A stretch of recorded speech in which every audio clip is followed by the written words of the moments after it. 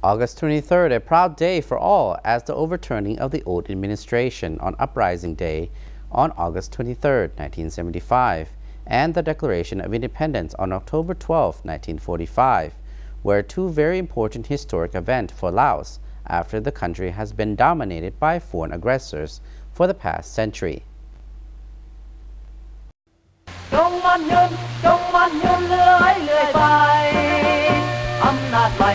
sa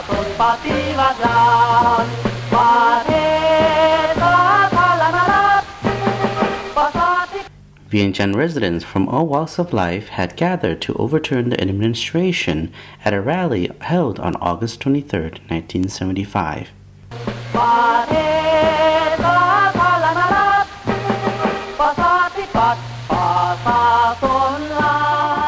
Rally was full of contrasting attitudes of seriousness and fun. Some people sang songs while others held signs proclaiming the need to overturn the administration. Some also shouted out slogans about the need for change.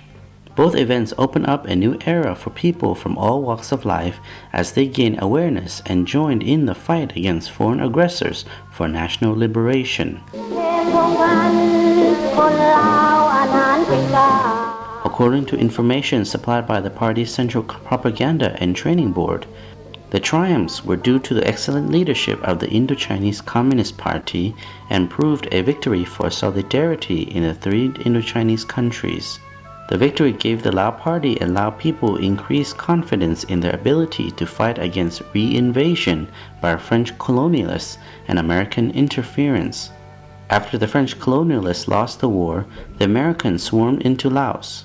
The US wanted Laos as a military base to block China and Vietnam and prevent revolutionary power spreading throughout Southeast Asia.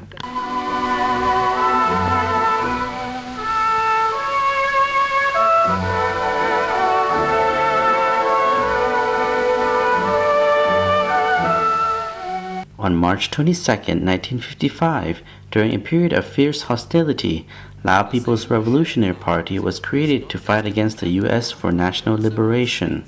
The uprising process to overturn the old administration was started by 500 workers at the Gafa factory in Vientiane on August 23, 1975, when more than 10,000 people joined in. Soon after the movement to seize power spread into the provinces and a revolutionary administrative power was established. The movement proclaimed Savannakhet province on August 30th and in Takek district, Khammouane province on September 1st. From August 26 to October, an aggressive force also took back the town of Sam Nuea and Hua Phan province. In no more than a month, the Lao people, in coordination with Vietnamese living in Laos, overturned the old administration and established a new revolutionary administration in a number of areas. Self-defense forces were stationed in larger towns such as Vientiane, Tha Kek, Savannakhet, Xieng Khouang, Sam Nuea, and Luang Prabang.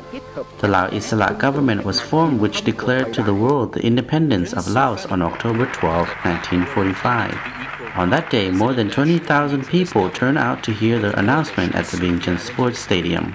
The years 1954 to 1963 saw sporadic fighting for the protection of the two stronghold provinces of Phong Sa-Li and Huapan. 1964 to 73 saw the revolutionary forces triumph in the strategic war waged by American presidents. From 1973 to 75, there was fighting throughout the country to secure national liberation. In 1975, a party central committee meeting planned the direction of the struggle for the final triumph of the revolutionary forces. This included three strategies the uprising of the masses, the supporting of revolutionary forces, and the removal of enemy soldiers. Under the party's leadership, the number of people from all classes who rose up increased every day in both the enemy's governance force and the neutral zone. These included government officials, traders, monks, soldiers, and police who joined the revolutionary movement to overthrow the old administration. Significant events at the time consisted of the uprising of workers at Electricité du Laos in Vientiane, the 42nd day uprising by Nong Bok district residents in Khammouane province, the uprising students in Vientiane, and the separation announcement of Battalion 102 from the Vientiane administration to join the coalition government. In support of the mass movement, military forces moved to seize important areas in Vientiane, Savannakhet province, and Pakse district in Champasak province.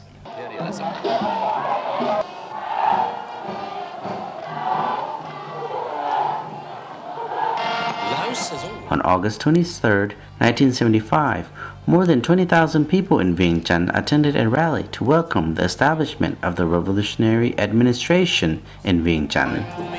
This event was a show of force bound by solidarity between the people of Vientiane and those from other parts of the country and culminated in the founding of Lao People's Democratic Republic on December 2, 1975, and the removal of the royal regime. Uprising Day is a meaningful for all our people and is the fruit of the revolution. It was an achievement of bravery and invention, of three strategies for the seizure of governing power without the firing of a single gunshot. It was a triumph of correct revolutionary guidelines and excellent leadership of the party through the application of Marxist-Leninist theory in a practical situation. It was also a triumph of solidarity among the Lao, Cambodian, and Vietnamese people who fought together against common enemy. The achievement was also due to the support of socialist countries such as the former Union of Soviet Socialist Republics and China.